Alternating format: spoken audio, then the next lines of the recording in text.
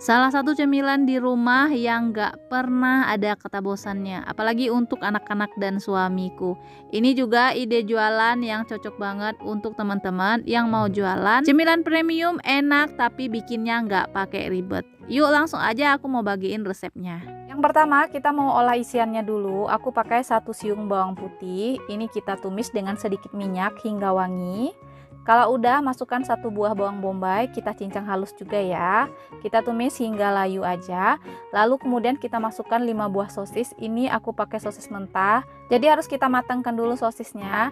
Nah, kalau udah setengah matang baru kita masukkan. Aku biasanya pakai 200 gram saus bolognese atau saus pasta. Teman-teman bisa ganti pakai saus apa aja, sesuaikan aja sama target pembelinya ya. Kita siapkan puff pastry secukupnya. Biasanya aku olah per lembar dulu seperti ini. Kita potong jadi 9 bagian ya.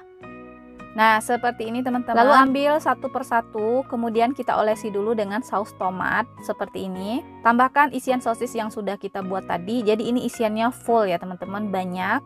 Nah, kemudian kita tambahkan keju mozzarella dan mayonnaise. Boleh ditambahin saus sambal kalau suka ya. Nah, untuk lembar yang kedua, ini kita iris dulu bagian tengahnya jadi tiga garis gitu seperti ini dan ini dipakai untuk penutup bagian atas ya kayak gini. Ini kita rapikan bagian ujungnya sambil ditekan-tekan. Kemudian mau kita rapikan lagi dengan menggunakan garpu aja seperti ini. Nanti hasilnya bakal cantik banget.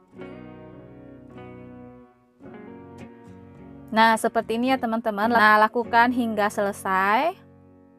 Lalu kita olesi dengan kuning telur secukupnya Nah, biasanya aku tambahkan irisan daun seledri ya, sedikit aja. Ini bikin makin cantik dan wangi. Selanjutnya kita mau oven, sebelumnya aku udah panaskan oven 10 menit aja. Kalau udah panas kita masukkan adonannya, kita panggang selama 20 menit suhu 180 derajat api atas bawah.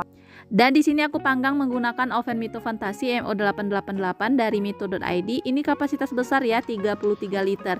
Dengan empat pengaturan fungsi, panel api atas bawahnya terpisah jadi bisa diatur dengan suhu yang berbeda. Oke, pizzanya matang, kita keluarkan dari oven. Wow, cantik banget. Ini wanginya udah ke mana-mana ya teman-teman. Nah, ini sebagiannya udah bisa dikemas, ada sebagian lagi yang belum matang. Biasanya satu box seperti ini aku isi jadi tiga pizza puffnya. Aku jual dengan harga 15.000 ya. Nah, menurut teman-teman gimana? Ini mahal atau sedang atau murah? Atau buat teman-teman yang mau kemas pakai plastik OPP seperti ini dijual satuan juga bisa banget.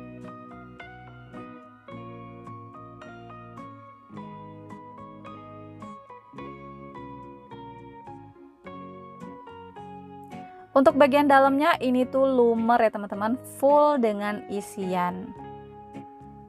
Nah, gimana? Mau cobain di rumah buat cemilan atau mau coba jualan? Semoga resepnya bermanfaat ya. Selamat mencoba.